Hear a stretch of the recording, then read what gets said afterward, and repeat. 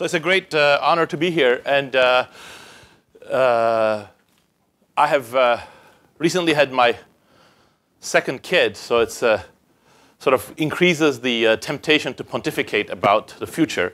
so this is the, I will talk about the outcome of that pontification. actually, this is based on an essay that John Maynard Keynes wrote about 80 years ago called The Possibilities for Our Grandchildren. Actually, uh, Keynes' essay was much more economics. I'm going to focus a little more on the broader social science. This is a social science panel. And, uh, and I think Keynes's, uh, people disagree somewhat about whether it was a success or failure, but, but I don't think it was a big success in terms of uh, guessing what was going to happen, and because it's very difficult to uh, make predictions. Uh, but, uh, but it also did not really clarify why he was making the predictions that he was. And uh, so actually, I think uh, making predictions about the future is often most useful for clarifying about past trends and understanding past trends. And that's in that spirit that I'm going to take on this task. So what I'm going to do is I'm first going to talk about the 10 trends that I think have shaped the world that we live in. And then I'm going to try to explain why these 10 trends are intimately connected, and then I will explain uh, my view of how they will actually continue. The first one is the rights revolution. What, I, what do I mean by that is uh, I'm going to show a couple of pictures just to, to illustrate it. This is just a, a, couple of indices of democracy in the world. So the world has become much more democratic. So in terms of political rights or civil rights as we measure them, the world has really been transformed. But I think this is really the tip of the iceberg. The rights revolution or what I mean by the rights revolution, is really a transformational event. The, live, the, world we live in today is entirely different in terms of its respect for individual freedom, in terms of its respect for rights of women, minorities of all sorts, ethnic, religious, gender, and sexual minorities. Only at the turn of the 19th and 20th centuries, Oscar Wilde was condemned for two years of hard labor in probably the most progressive country at the time for being a homosexual. You know, the rights of all sexual minorities are not respected around the world, but we really are at a sea change compared to the world that we lived in about 100 years ago. So, this political and social change, recognizing more rights, is a social change, but is intimately connected to a variety of economic changes. The second what I call the sweep of technology is that technological changes have been entirely transformative also. People coined the term the Industrial Revolution for a wave of gadgets and machines that really changed the social and economic lives of people starting in the 18th century, uh, middle of the 18th century in England and spreading to the rest of the world. Even compared to that rapid period of change, our era has been much more rapid and much more radical. It is quite difficult for people in most parts of the, uh, of the world, except a few pockets in Africa and perhaps uh, in Asia, to actually imagine the world that our grand grandparents uh, lived in, in terms of the technologies that we have available. And I'm not just talking about the internet, much more basic things such as indoor plumbing uh, access to the sorts of chemicals and drugs and communication technologies, the level of lighting and the possibilities of transport and so on and so forth. And following from that technological changes, we've also seen an unrelenting process of economic growth. So what I show in this picture here is the world growth GDP in a log scale. So this is essentially a steady growth of uh, over 2% a year. And the blue and the red lines are for the United Kingdom and the United States the two countries I picked as sort of the frontier economies. So what's remarkable here is not only the growth process, but how steady it has actually been throughout the 20th century. Big exception, the Great Depression, which was a down and up movement, so it sort of have been largely made up. And as you can see, the growth is actually not only more rapid, but also have, has picked up speed in the second half of the 20th century in the rest of the world. But that fact notwithstanding, this growth has been uneven.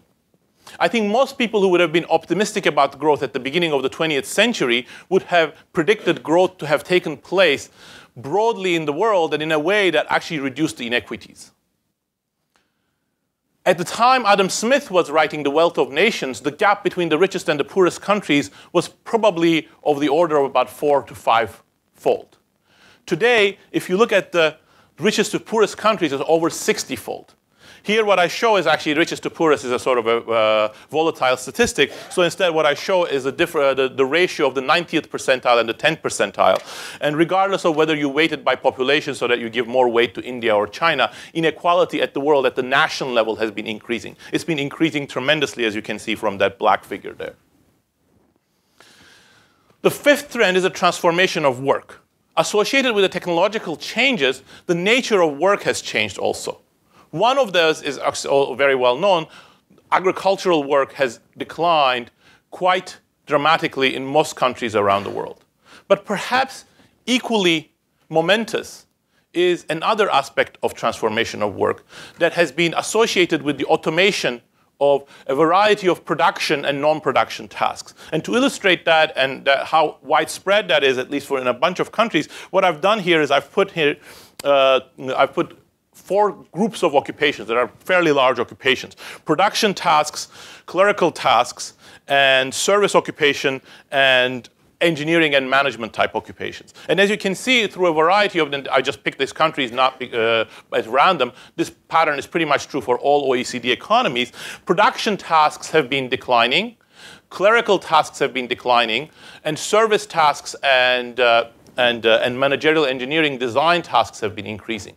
This is in inherently related to the nature of technological changes of the last half century, which have routinized a lot of production tasks and also a lot of clerical tasks uh, and, and, and have enabled machines to perform these tasks much more efficiently.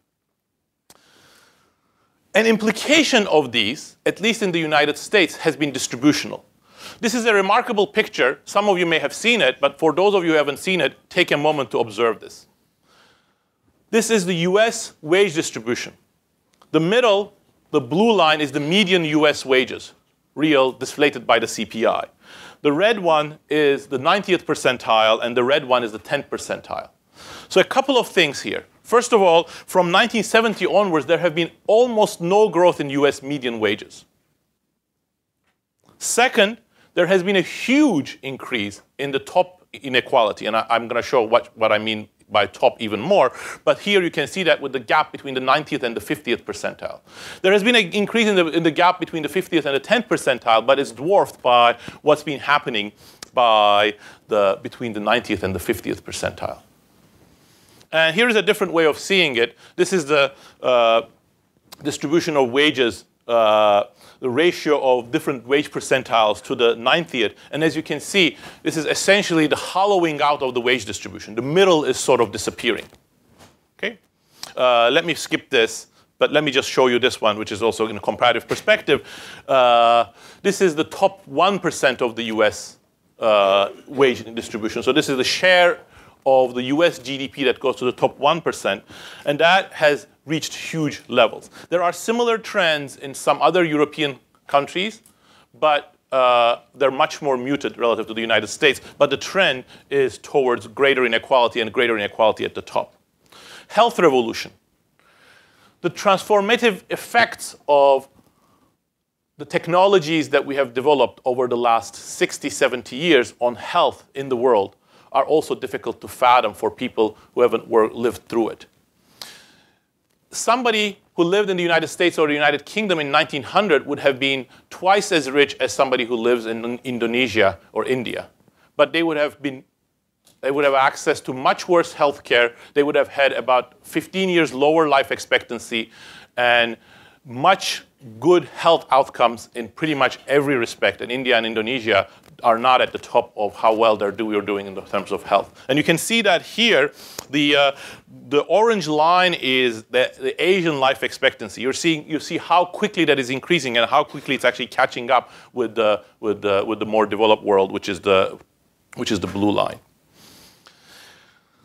These technological developments and the economic changes have also been at some level without borders.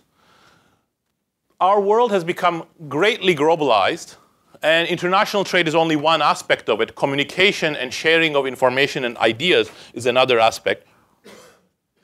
But here I have just shown, I'm just uh, showing the international trade aspect. International trade was high at the beginning of the 20th century. It came down, it, it, uh, it, it, came crashing down with the, uh, with the Great Depression, but it has reached unparalleled heights today, as you can see from that picture. Another important trend is related to warfare. Any discussion of social trends or any discussion of human trends without mentioning warfare is, will be at best incomplete. And the 20th century has seen an entirely remarkable sets of developments in respect to this. It has been both the century of peace and the century of war. The early part of the 20th century has witnessed the most deadly conflicts in the world. And you can see the international battle that's eh, for the, eh, relative to the entire population drawn there. But since World War II, this has been an unbelievably peaceful century. No other century, and a recent book by Steve Pinker also emphasizes the same thing, no other century for which we have records, and we have quite a lot of records going back to very far, to hunter-gatherer societies, comes even close how peaceful this century has been. This is even true when we look at civil wars, which have been which have ravaged many parts of the world, but even civil war deaths have actually come down, and despite some uh, notable and very sad genocides in places such as Rwanda and like the one that's going on in Syria at the moment, uh, this is still comparatively a peaceful century. Homicides have increased a lot in the 1960s. People debate what the reasons for that are, but they have been coming down. This is throughout the world. This is actually a very international pattern. It's not a US pattern. Homicides increase in every OECD country, pretty much every country we have data for, and they've been coming down very rapidly since the 1990s, pretty much everywhere, except for a few places like uh, Mexico and Colombia, which have their own other sorts of problems. The ninth trend is about what I'm going to call counter enlightenment in politics. So the rights revolution would have been predicted perhaps by some people, might have been predicted by the radical enlightenment uh, philosopher like Diderot or Baron d'Holbach. But they would have predicted a world in which rational thought would take over everything. The 20th century doesn't look like that. The 20th century, as well as the rights revolution, has many other political movements.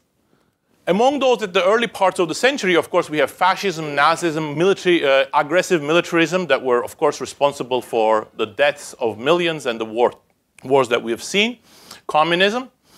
But one that has been quite influential over the last 40 years is the increasing role of religion in politics. This is a very broad trend. We see this in the United States with the rise of fundamentalist Christians. We see this in Israel with the increasing role of religion in society. But we see it particularly, and, uh, and, and the world is paying attention to it, particularly in the Muslim world. So, through a variety of channels in the Muslim world, religion is playing more and more of a defining role in politics. And I think any discussion of the social trends of the 20th century that doesn't come to grips with this would also be incomplete. And then the 10th one is that we have actually undergone undergoing a population explosion and we are eating the resources. Now, there was a lot of discussion on this, including this uh, famous wa wager between uh, Ehrlich and uh, Simon which uh, was sort of the pessimistic and the optimistic view. That was the year of the wager. They, uh, they, they bet on a, on a bundle of uh, uh natural resources. And, uh, you know, Simon won that wager because the prices came down, but they have been coming up more recently. So there is an issue of whether we're going to be able to support the growing population and the growing GDP of the world, but I think that's a sideshow. The bigger one is not really that we're going to run out of scarce resources. I think there's a lot of evidence that technological ingenuity will, come, uh, will, will overcome that, but whether we are going to use our non-scarce resources, including coal, which is a non-scarce resource for all practical purposes, to destroy the environment. So this is the CO2 emissions and the CO2 carbon concentration in the, uh, uh in, in, in, in, uh, in the atmosphere. And as you can see, it has been increasing at an unparalleled uh, speed with, uh, with no impact of the Kyoto Protocol, for example. So the next step is actually to interpret these facts. So there, what I'm going to do is I'm not going to spend much time on it, but I'm going to borrow from uh, a book that's, uh, that I have worked on for uh, many years with my uh, friend and co-author James Robinson called Why Nations Fail. And I'll just tell you a couple of the distinctive features of the framework, which I think will help us uh, give a little bit more of a perspective on what's coming next. The, the dominant paradigm within social sciences is a sort of technological determinism. So, what you might have expected uh, hearing the sort of trends that I have listed, in particular, several of these trends that are technological in nature, including the, the, sweep of technology, the health revolution, the transformation of work, but also, of course, the growth and the unevenness of growth, that the story here would be one where technology has its own dynamics, and those dynamics are shaping and forming the social relations. One example of that, for example, would be the modernization theory uh, associated with uh, uh, Lipset which sort of sees a very strong causal link from increases in income to democratization, and perhaps we can expand that to the rights revolution and so on. The framework that Jim and I offer is a sort of polar opposite of that. We think that technology is indeed at the root of many of the economic and social outcomes that we observe, but technology itself is endogenous, and technology itself is shaped by institutions broadly construed. And those institutions are the ones that we really have to understand, and that's where the rights revolution comes in. So therefore, the framework that I develop for understanding the 10 trends is that the rights revolution is at the bottom, and all of the rest follow from it. So therefore, we have to just say a few words about where the rights revolution comes from. And I'm really going to just say a few words because time is short, and, uh, and I don't want to kind of make us even further than 40 minutes late. But the institutions that we live under are not autonomous things with their own dynamics. They are human choices. We choose them. But by we here, I don't mean we as, as a collective for the good of the society and so on. They are the result of conflict. They are the result of conflict because institutions are mostly about who controls whom, who wields political power, and how that political power can be used to extract resources from one group for the benefit of another. So for that, what we, the terms that we use in the book are extractive and, uh, and inclusive institutions. And extractive institutions are essentially the norm throughout society. Extractive institutions are those that, that organize the economy such that one group can extract resources from another. And they are supported by political institutions that are also extractive, that concentrate political power in the hands of a few so that the, the extractive economic institutions can be supported extractive institutions have no pretension, or they may have a pretension, but really they have no business in encouraging economic growth. Their business is not, their purpose is not to encourage economic growth. Their purpose is mostly distributional. They might generate economic growth, but that's not their main objective. And because they are creating a very lopsided distribution, every now and then they are challenged by they are challenged by those that have been denied of rights and exploited and treated badly. And that process, in an uncertain and somewhat bumpy manner, leads to the emergence of inclusive institutions. The emergence of inclusive institutions has been slow. They have shown up every now and then in places, perhaps a little bit in the Roman Republic, perhaps in Venice. But really, the transformative changes there came with the Glorious Revolution in England in 1688. And there is no surprise, it's no coincidence that the Industrial Revolution started kicking in in England following the Glorious Revolution uh, short, uh, by, by about 60 years. So the inclusive institutions are mostly about the distribution of political power and how the economy is organized. But they don't exist in a vacuum. Any sort of institution has to have a social basis. And that's where the rights revolution comes in suppression of all kinds of rights, women's rights, minorities' rights, individual rights, is part and parcel of extractive institutions because their purpose is to keep a particular social order, a lopsided order, albeit, but a particular social order.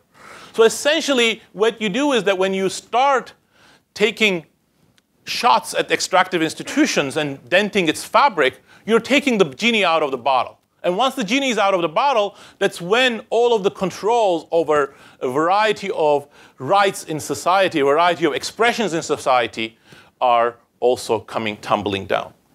So the rights revolution and the associated change to inclusive institutions is the root cause of the technological changes that we have experienced over the last 200 years. Once you have those technological changes, then the rest of it follows. Why? Because the unrelenting growth is an outcome of these technological changes. Uh, the technological improvements over the last 200 years are the major contributor to the growth experience that we have.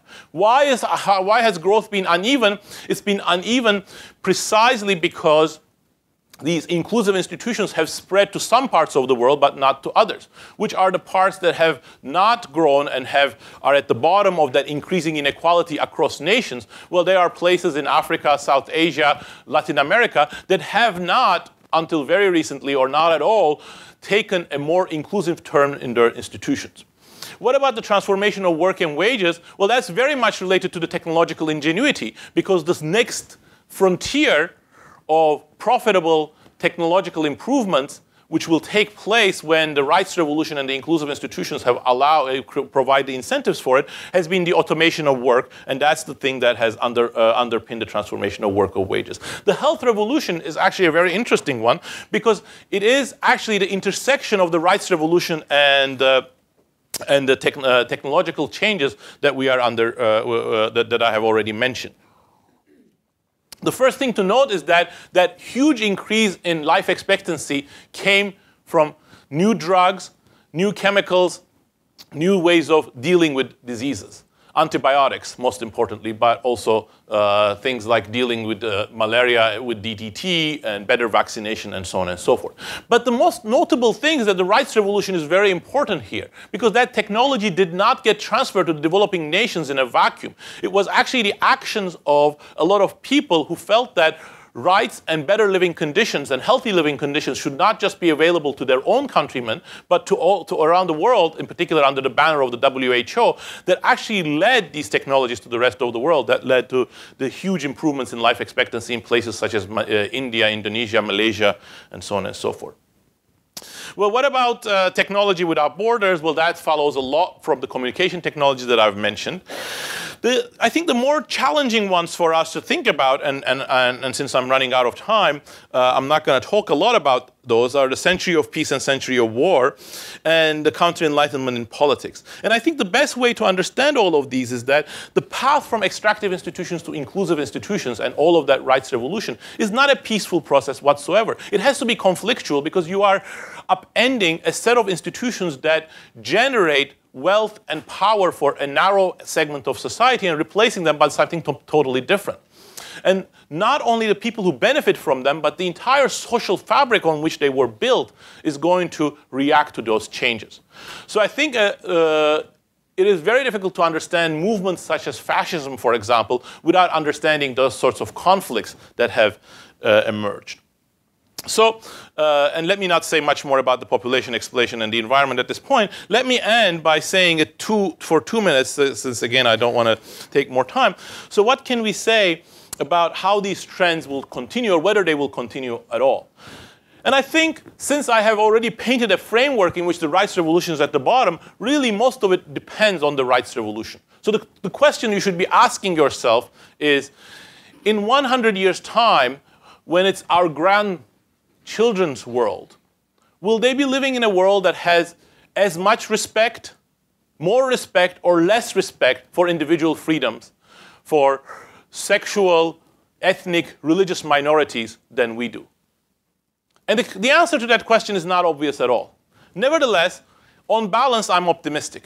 I'm optimistic for a number of reasons. The first reason is that all sorts of institutions, extractive institutions and inclusive institutions included, create their own feedback loops.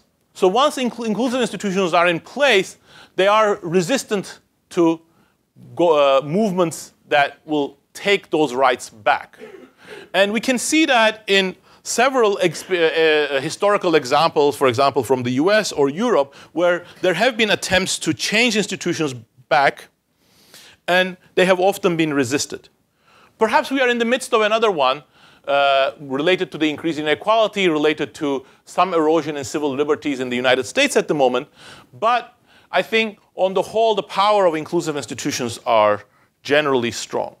There are other threats to the rights revolution, alternative growth trajectories, for example, from an authoritarian growth path from China and so on, but those will be ultimately fleeting and, uh, and not really uh, change the direction of the rights revolution. This is not to mean to say that it's sort of a uh, weak version of history where everything will necessarily go towards the better and at a rapid pace. First of all, the rights revolution will proceed slowly as it has done in the 20th century. Yes, we have many, many more rights, but there are still many countries in the world where individual freedoms are seriously constrained and uh, uh, curtailed. And that will continue to be so. But once the rights revolution is in place, and if it doesn't get reversed, I think the rest will more or less follow. Technology you know, I don't think we are running out of ideas. There are some books that argue recently that we, we picked the low-hanging fruit and we are now going to run, of, run out of ideas. Actually, uh, a lot of historical and, and, and other evidence shows that there is great possibility, there is great plasticity to technology. Technology changed, uh, can change where it's directed to, and that generates a lot of opportunities for technology to continue. So unless the foundations, the institutional foundations of the technological change uh, are destroyed, technology should continue. If technology continues, then growth should continue. Will it continue to be uneven? Undoubtedly, it will be uneven, but we expect it to be much more even than it was before. Why? Well, because the next frontier for the rights revolution and the inclusive institutions are the places which have extractive institutions. As those inclusive institutions actually spread to the rest of the world, as we are seeing, for example, with India and places, uh, the growth is going to start spreading. So we're going to have growth come much more from the places that missed out the first wave of growth in the 19th century and the 20th century, and therefore the growth process is going to be more equalizing. Again, what we know about the engineering and the science of it suggests that the transformation of work and wages is going to continue. The big robotic improvements are going to be in the future, and that as a result of it, it's going to uh, it's going to continue the same process. Now, that raises some important issues that intersect with the rights revolution because unless appropriate policy actions are taken, many of these technologies might contribute to the growing inequality that I showed you. But that's where the comparative perspective that was kind of glimpsing uh, in, in what I showed is important because there is nothing inevitable about greater inequality following from these technologies. They do create a tendency for greater inequality, but that's where the inter international picture is useful because many other countries that have been subject to these same trends have had much lower increases in equality, much, uh, much less increase in equality than the United States. So I think one way of, uh, one important frontier for uh, societies will be how to manage these change in the uh, automation of work that reduces demand for many low skill, medium skill occupations, but I think that's something that's feasible. The health revolution, there are better people to talk about that and, and, and, and all of that. And I think the only, the, the one that I want to sort of uh, uh, end by saying two, uh, uh, two more things is the counter, counter, counter enlightenment in politics and the population explosion and, and resources and the environment. On the counter enlightenment on pol in politics, I think the move from extractive to inclusive institutions and the move towards rights revolution is not an easy one. It will create more bumps on the road, it will create more conflicts, it will create more backlashes. But nevertheless, I think uh, I remain generally optimistic. I think the most, uh, the greatest ground for optimism comes from the Arab Spring. So some of you might think actually that the Arab Spring has already kind of disappointed many because all of that youthful enthusiasm that really stood for more liberal values has been replaced either the military rule uh, in, in Egypt or uh, led to the sort of carnage we see in Syria, or it has led to establishment parties such as Muslim Brotherhood coming to power. But actually, I think that's the more pessimistic, that's, that's, a, that's an overly pessimistic read of the situation. I think the first is that even though uh, some of the existing elites are trying, trying to recreate the, uh, the, the old system as in Egypt, the changes, uh, uh, the, the, again, I'm going to repeat the same word as I said, the genie is out of the bottle. The, when the military rule steps out of bounds, as they often do, people are again filling Tahrir Square. I think people have realized that they actually have more power than they previously knew. And that is a very important step towards inclusive institutions and towards the rights revolution. So, what about, play, uh, what about kind of parties like Ennahda or the Muslim Brotherhood? The fact that uh, have, they've come to power and the fact that, for example, they're not sympathetic to, uh, for example, rights of sexual minorities, does that mean that the rights revolution is going to take a big step back? And I think the, uh, the answer is probably no. I think in the short run, these parties are not going to be the greatest harbinger of uh, rights for all minority groups. But at the end of the day, they are really speaking for a significant fraction of the population that was entirely disenfranchised before. And again, this, I'm going to repeat exactly the same sentence again. The genie is out of the bottle. It doesn't really matter whether it comes in the form of Muslim Brotherhood or the Ennahda. Once you start bringing down the edifice that supported these very highly authoritarian structures, inevitably the more will follow. So there will not be any explicit, easy recognition of uh, religious minorities' rights or sexual minorities' rights in Egypt anytime soon. But de facto, the trend is going to be towards greater rights recognition. And then the final thing I want to say is the environment. What can we do about the environment? Are we just going to keep on increasing our GDP and as a result uh, pumping more carbon into the atmosphere? And the answer is yes, perhaps. But again, there are two reasons to be optimistic. One is technology, the other one is the rights revolution. Technology is because if we're going to have any solution to global warming, it has to be technological because neither China nor the United States nor India nor Brazil uh, is going to cut their production in order to reduce carbon. But again, our technological ingenuity is very important here. The second one is the rights revolution because in the rights revolution is the notion that we also should care about the welfare of others. So as we care about the welfare of others, that creates an environment in which multilateral negotiations to deal with such uh, situations is going to be more feasible. And we can see that already in many countries where people do make sacrifices in order to be more, uh, more green in their choices. And I think that is, again, the most important step for thinking about our optimism for the future. Mr. Deputy Minister, Mr. Ambassador, dear friends, dear Daron, it is indeed a great pleasure to be here. And if some of you think that after Daron's presentation, I will tell you what I think the exchange rate between the Turkish lira and the euro is going to be in August, or uh, you know whether Greece will be in the eurozone uh, by December, you're wrong because I'm going to also take a somewhat uh, longer view. And in fact, I'm quite happy we spoke briefly uh, with Daron, uh, and, and our, I think our presentations are quite complementary. By the way, Mr. Ambassador Tan, you sent, I hope there will be a Nobel Prize winner, and I think one of our front runners is right here, so we're, we're all.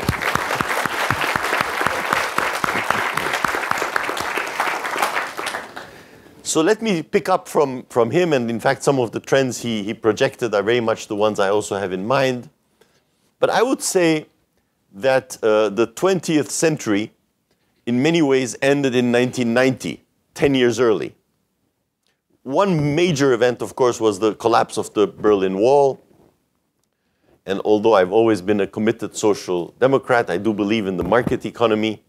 And I think the fact that after the collapse of the uh, centrally planned Soviet system, the whole world became a much more global economy a kind of unification with many diversities, many changes in different countries, but nonetheless, a freer world and a, and a, and a more market oriented uh, uh, world, I think was one big watershed change.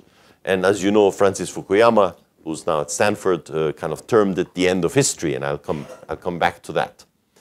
But there was a second thing that happened around that time, not as dramatic at, the, at that point, but I think with an equal importance, if not larger importance, and that is we entered actually an age of convergence, economic convergence.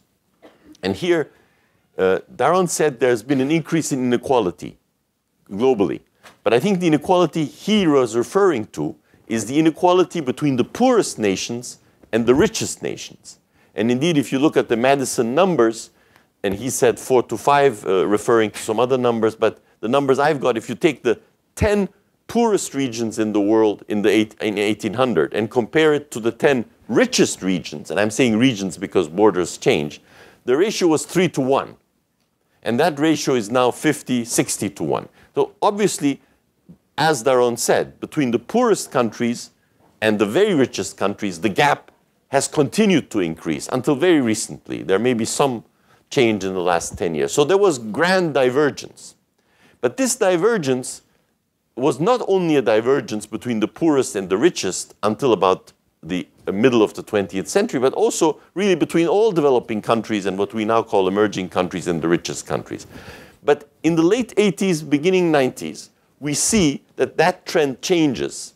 And I would say we have entered a, an age of convergence with some divergence left at the bottom tail, but with the mass of people in India, in China, in parts, uh, many other parts of Asia, in many other parts of Latin America, actually in per capita terms, having a growth rate that is now two to three times as fast as the growth rate in the advanced economies. And that is historical.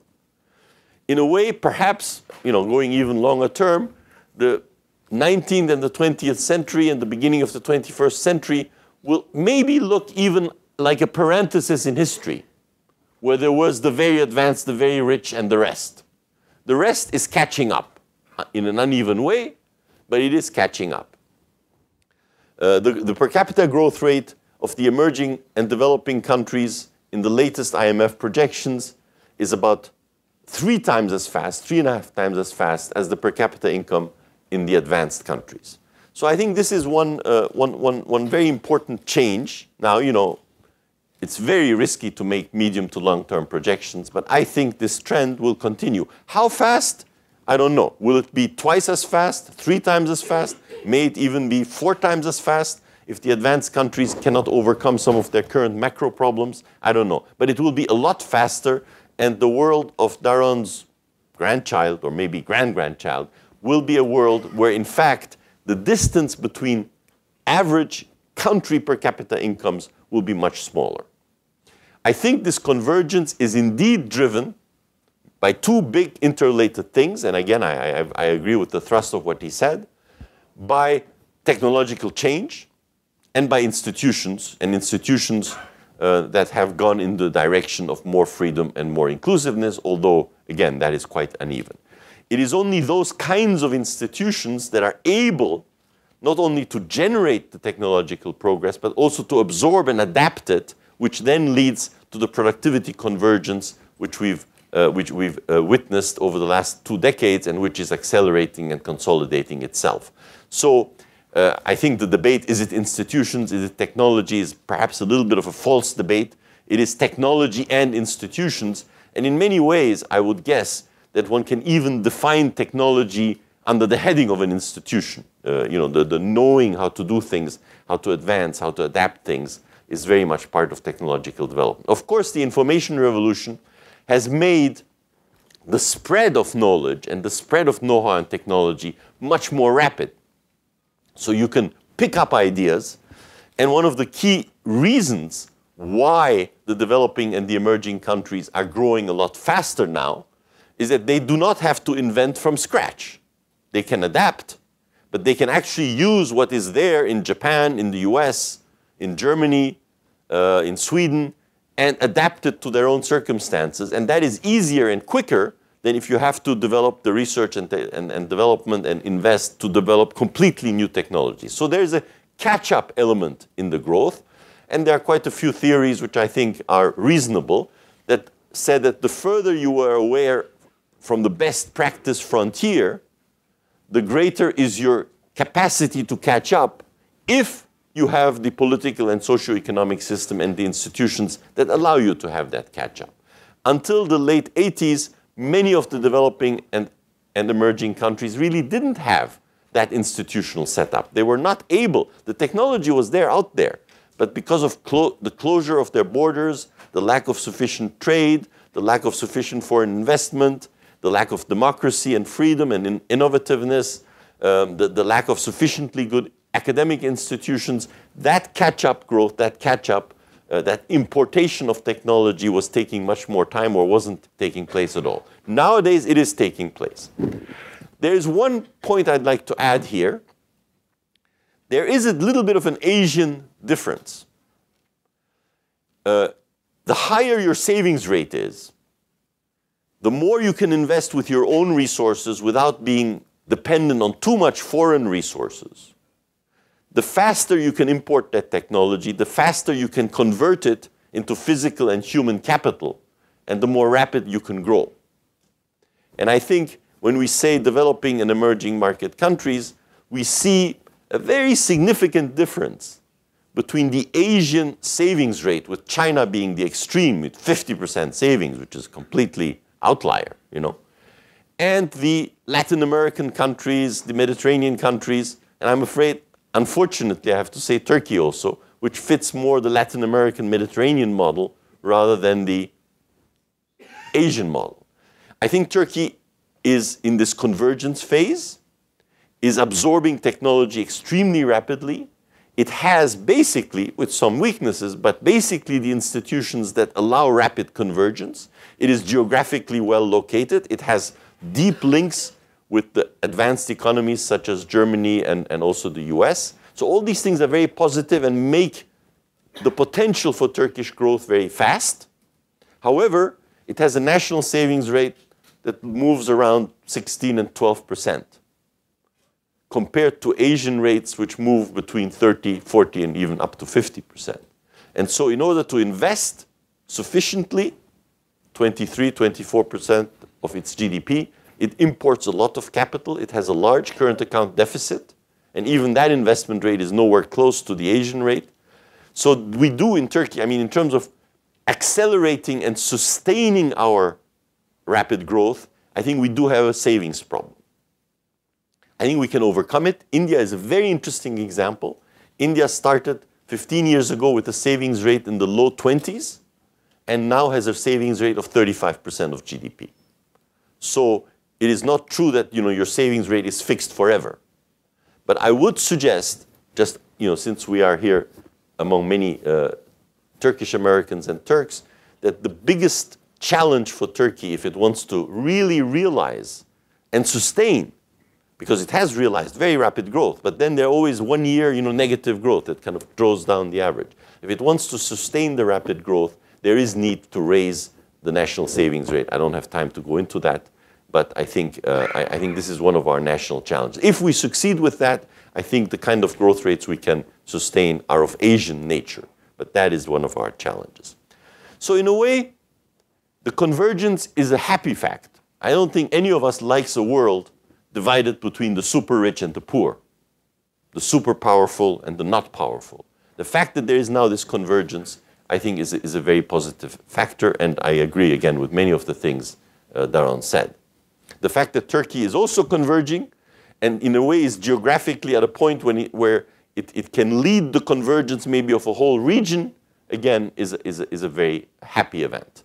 But there are four problems that I want to emphasize that um, make me worry and uh, you know that, that are dangers or threats maybe to, to the smooth unfolding of the future and the happy lives of I have also a grandchild. I have a grandchild of two and a half years old, uh, which whom I'm.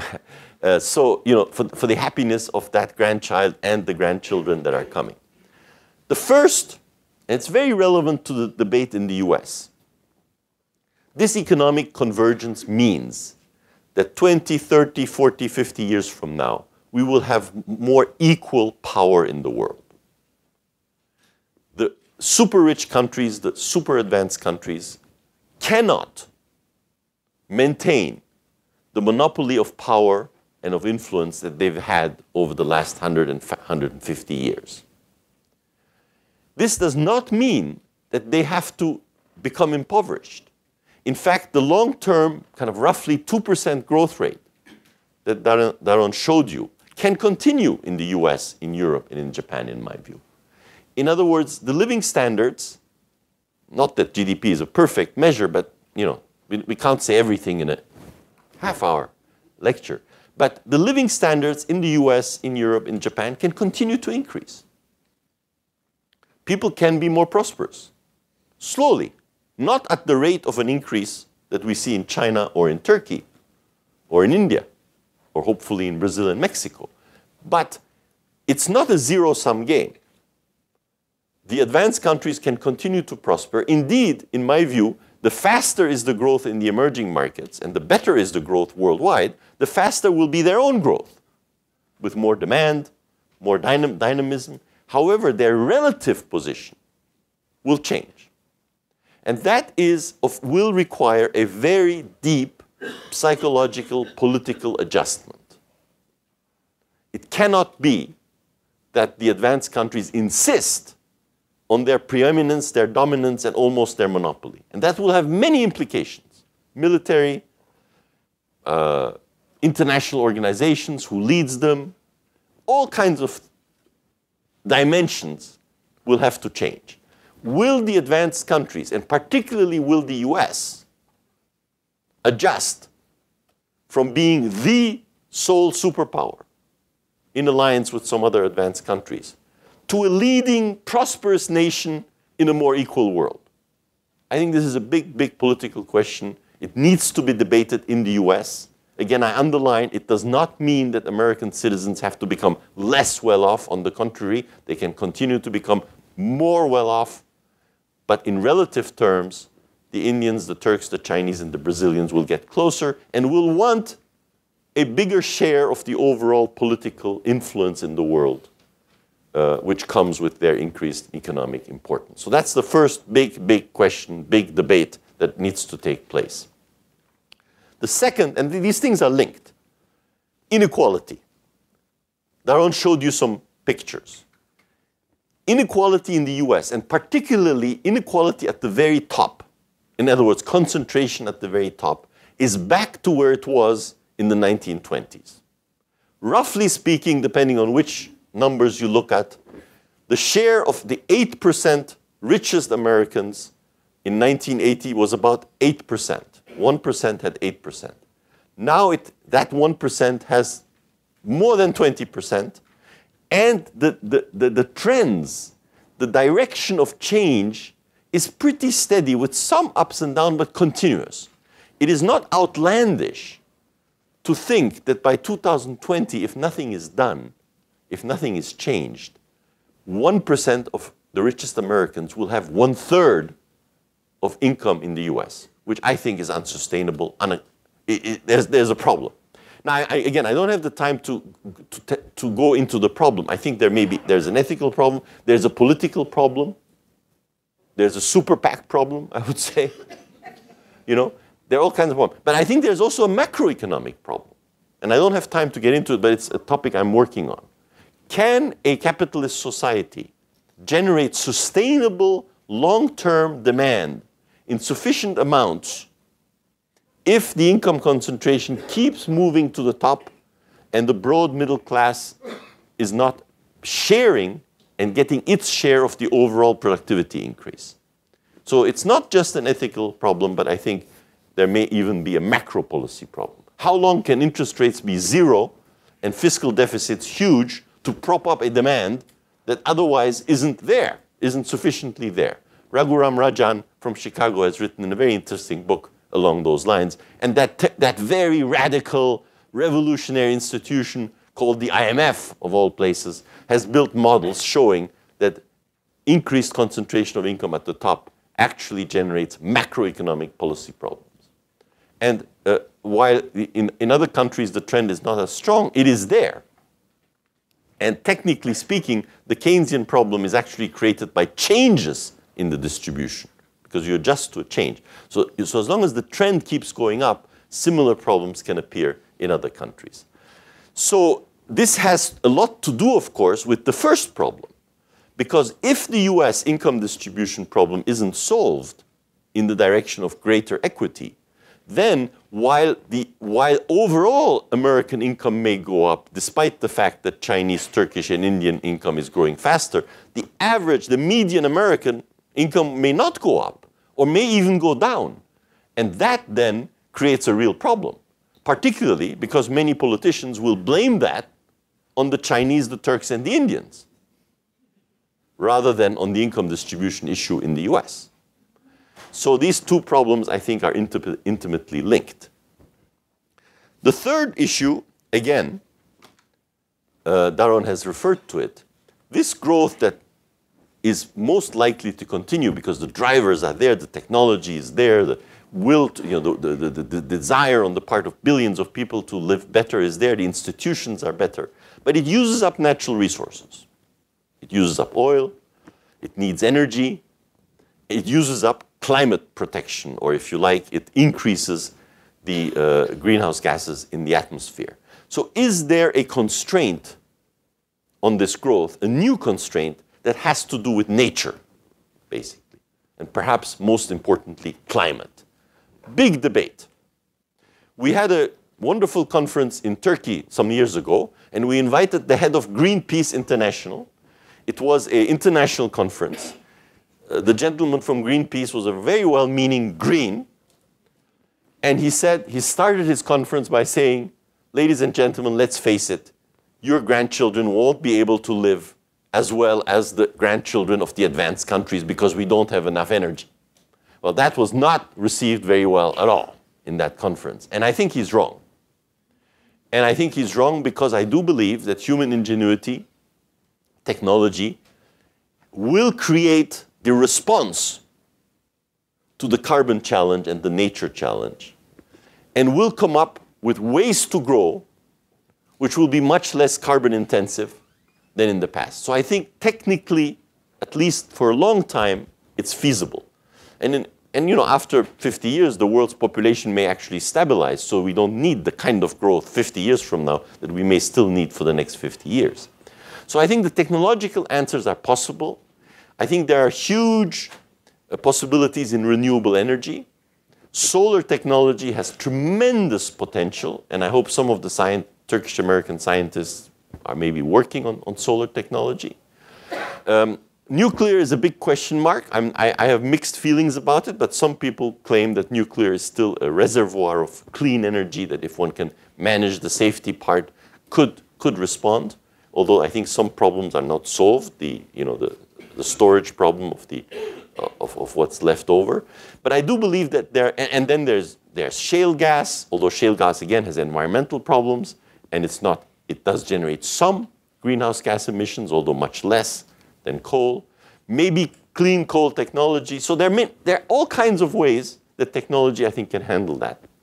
However, there are very important policy problems.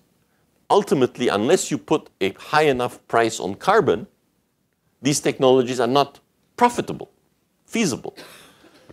It always beats me why Al Gore's proposal some years ago put a carbon tax, and if you don't want the government to have more taxes, rebate it to lower income people who pay income tax.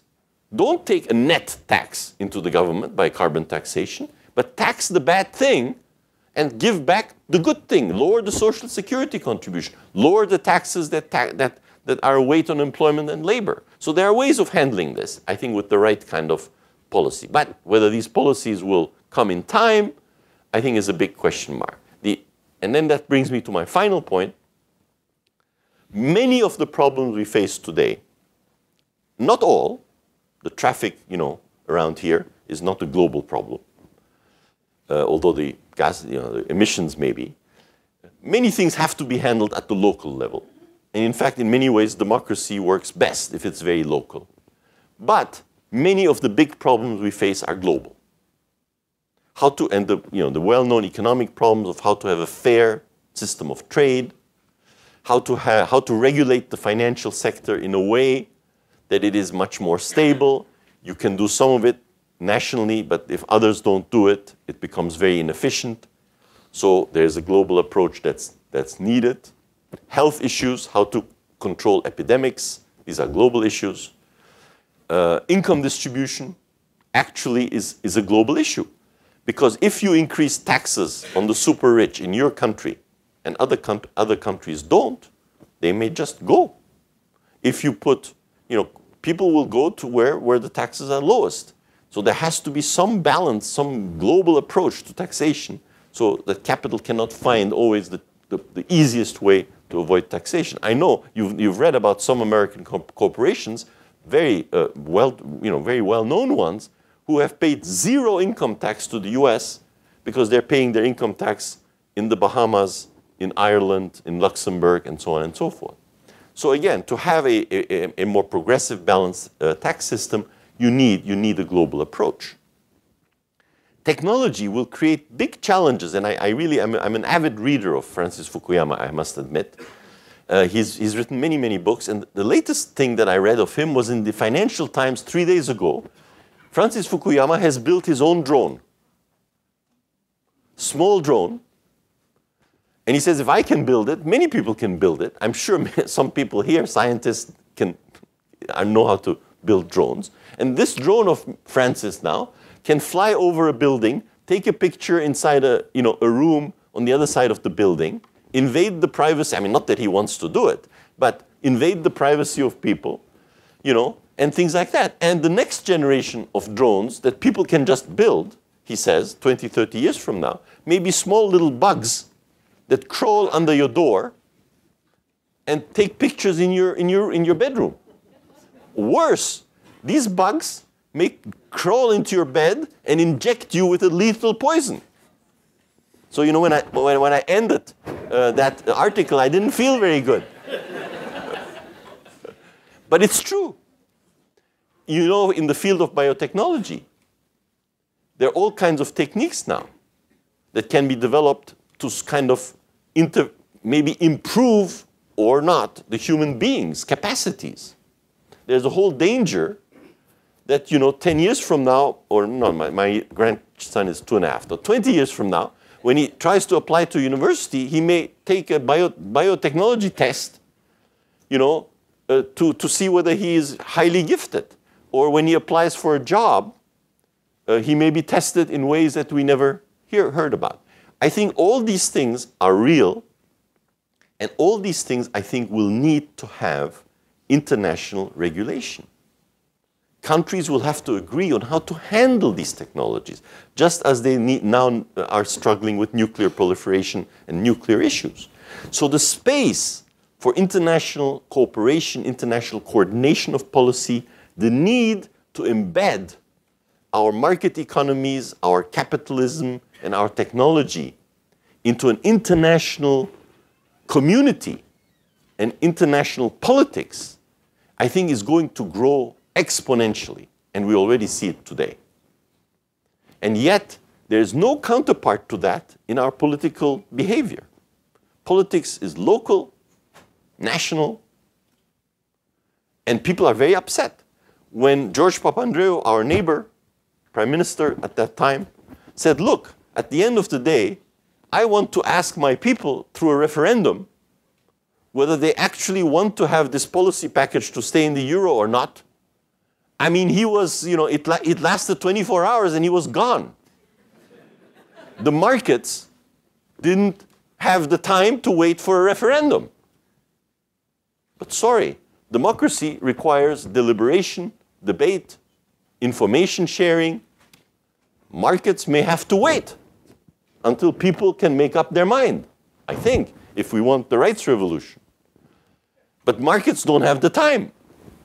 One push of the button and 5 billion or 50 billion dollars are gone. Okay? So how are we going to reconcile these markets with governance and with democracy? A question that a colleague of ours, Dani Rodrik, asks in, in, in his book, The, uh, the Paradox of, of Globalization. So I think that's the fourth big challenge how to embed markets in a much more global politics. I think liberal capitalism was successful in the 20s, 30s, 50s, 60s because it embedded national markets in national politics and national legitimacy. But as markets has, have now escaped national boundaries and have created a huge global economy which is extremely interdependent with technologies that have tremendous promise but also tremendous dangers. I think the big challenge for the 21st century, uh, one of the, the fourth challenge I want to mention here, is how to embed these markets and this technology in global institutions that uh, people like Ambassador Tan will have to fashion. Thank you very much. Thank you. Um, I think one of the reasons that Asia is doing better, I think they become the global hotspots for the you know global companies as their um, supply chain management systems.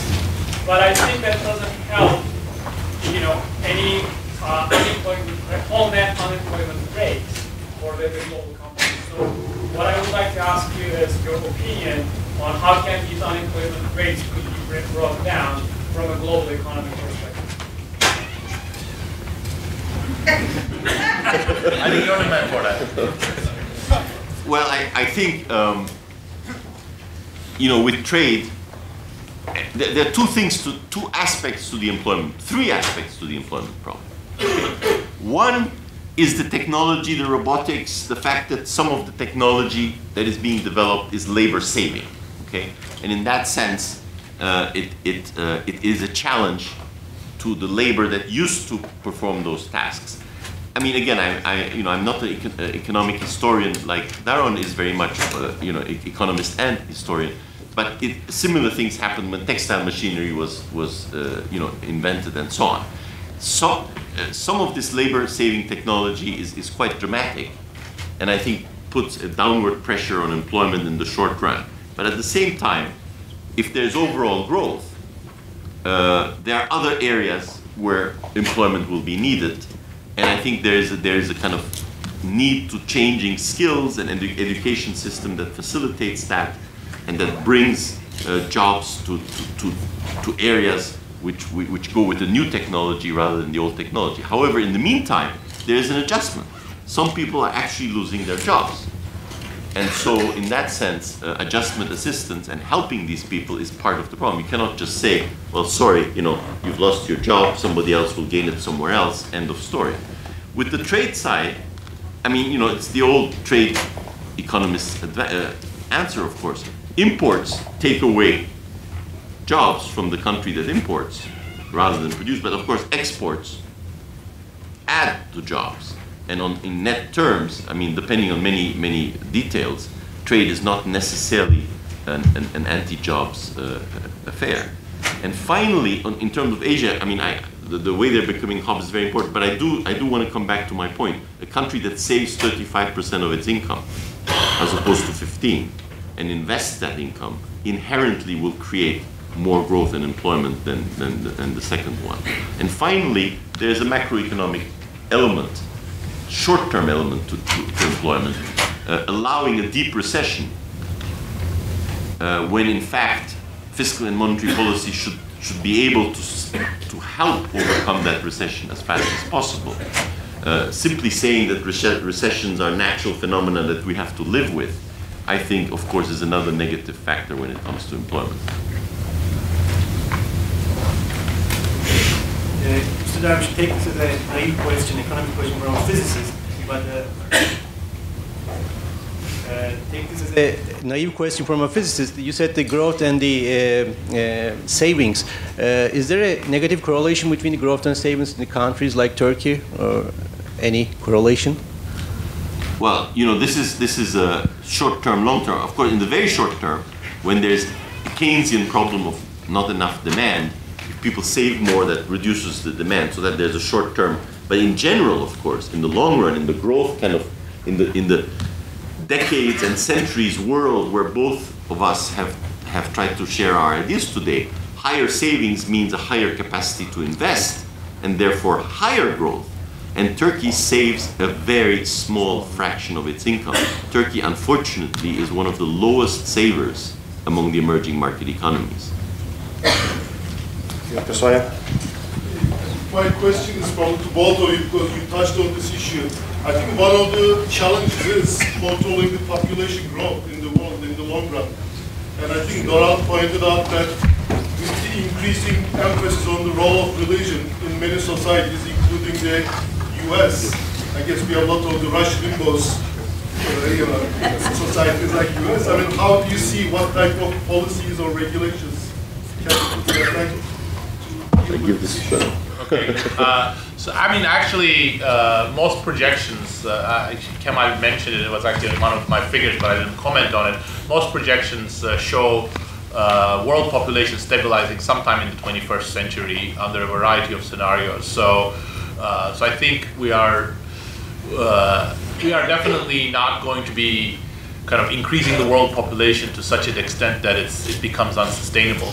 So, so at the end of the day, there is a school of thought that was very popular about 20, 30 years ago that population, you know, was was a big problem for developing nations. In fact, there were even policy uh, initiatives that started uh, trying to con contain population growth in, many countries. It's sort of been largely discredited uh, both on its effectiveness and on its desirability. So I think you know we're not really creating much long-run problem in terms of population. You know, by increasing our population. Uh, you know, in the short run, there might be some political or uh, civil war implications of greater population in places where, for example, water is scarce uh, and, and so on. But, uh, but, but, but I think, uh, you know, in some sense, what I was trying to emphasize is that the, the biggest strain we're gonna we are putting on the environment is not related to scarce resources, is not related to population per se, but it's related to our carbon emissions, which is largely totally independent from scarce resources. Dr. Daron, you, you put great emphasis on rights movement driving many of the needs. And I think this is a very uplifting projection. This is, this is actually wonderful. But in thinking about that, do you see some tipping points where there will be inherent conflicts between the desire to obtain more rights and at the same time bring you in conflict with other needs? And the timeline, for example, how, what will be the cycle of the rights resolving this conflict? I think that's an excellent question, and I just honestly don't know the.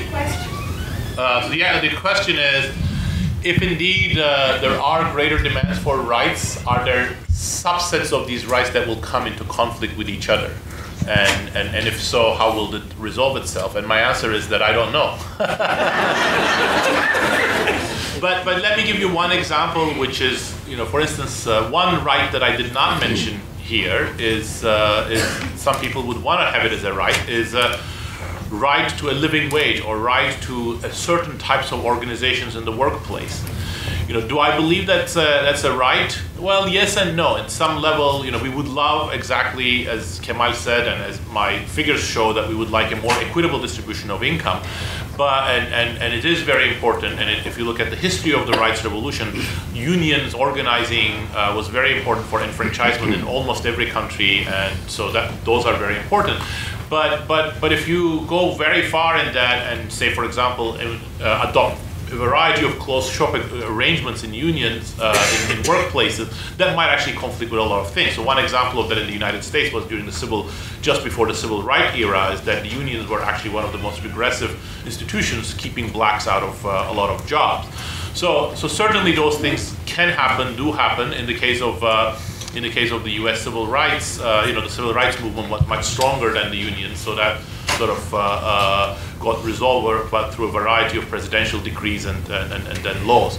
But, but, but it could certainly happen again, and, and, and, and if it does happen, and especially in a lot of places, I think uh, this, this, there, is, there is a possibility that rights of minorities of all sorts religious, ethnic, and uh, and and, uh, and, and sexual might actually in, in uh, might actually contradict with political rights because as political rights become more widespread, there might be uh, parties that get a lot of support wanting to repress these minorities, and uh, so, so that's certainly not off the cards. Uh, you know, my optimism doesn't extend to saying that that's not going to happen, but but my hope is that it's going to happen to only a limited degree. One more, please. Uh, my question is for Dr. Jimbo. So uh, there's a rapid advancement in robotics and technology. There's also I'm actually Can you speak I'm, up? I'm hear, having a hard time hearing. All right, Uh, so there is a rapid advancement in uh, robotics and automation. There's also the uh, overpopulation, population explosion. So I'm thinking 100 years down the line, there will be much higher capacity for production, but not really uh, matching need for uh, human labor of the ordinary person of skill, right? So what are the economic and political um, implications of that? Excellent question. So let me first start by agreeing with you that uh, I think a lot of what we know uh, on what's coming down the line in terms of technologies and a lot of what we can project is absolutely along the lines of what you're saying. Improvements in uh, robotics and improvements in uh, computer-assisted uh, machinery that is going to be able to replace a lot of human tasks. But let me take a little parenthesis and say I mentioned Keynes. Uh, Keynes's essay was was a big failure. well, no, I, I, it was partial failure. The biggest prediction that he made actually was that exactly what you touched on. He said that because of technological improvements in, uh, uh, in, in 80 years' time, we would be working only five hours and or there will be widespread technological unemployment. And, uh, and, and, and that, that turned out to be wrong, despite the fact that he did not see, he did not foresee the robotics. So, in fact, the robotics improvements that we've already uh, experienced over the last 30 years should have added to that. And I think there are two reasons, uh, there are three reasons why that's not, you know, uh, it's, a, it's not a done deal that uh, these improvements in the machinery uh, that replaces human tasks will lead to human unemployment. I think one of them is exactly what Kemal mentioned, is that you actually create jobs in other sectors as you, do, uh, as you, as you reduce jobs in some sectors. The second one is sort of a, a, an elaboration on that in some sense, that the, the patterns that I showed you actually is that there are uh, many occupations that are growing very rapidly. So, in particular, there are many occupations in which uh, humans are really necessary. One of them is, uh, is a broad set of occupations you can call design. The more uh, machines are important in performing tasks, you need the more you need people to design them to do exactly what they should do. And the second set of occupations that I highlighted there were all sorts of service occupations. So as we actually improve the standards to which we can manufacture things, we will need more and more people to service a lot of uh, a variety of needs from retail to uh, home care to health technology and so on and so forth. So, uh, and then the third one is that, uh, and here I sort of partly agree with what you've said, but, but with a caveat is that actually what I think many of these technologies will do is that they are going to reduce the demand for certain types of labor. And so the first order effect of that is going to be actually distributional. It's, there's no necessity that if the demand for certain types of labor goes down, that these people will be unemployed because their wages can fall. And as their wages fall, then, the, then other occupations that can employ them can expand. And that's essentially what happened to the service occupations. So the wages of service occupations have generally fallen relative to design occupations, but employment has increased because of that wage fall. So I think the question that you know uh, that you're, you're asking can be best answered by saying that there will be a variety of pressures for increasing inequality by reducing pay at the bottom of the uh, wage distribution in the United States and in other OECD countries, and then how we deal with those for example, by reducing uh, the ability of wages to fall or by increasing the human capital of these workers is going to show whether we will actually let this problem translate into an unemployment problem or whether we're going to be able to deal with it uh, with limited unemployment and with, with limited increases in inequality.